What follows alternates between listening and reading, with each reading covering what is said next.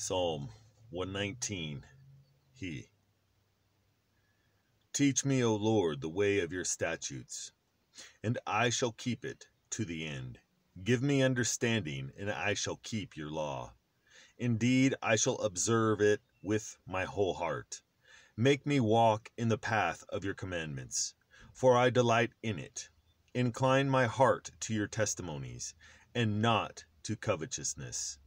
Turn away my eyes from looking at worthless things, and revive me in your way.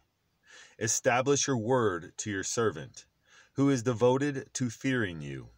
Turn away my reproach, which I dread.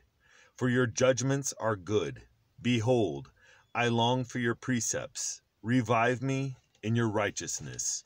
Selah.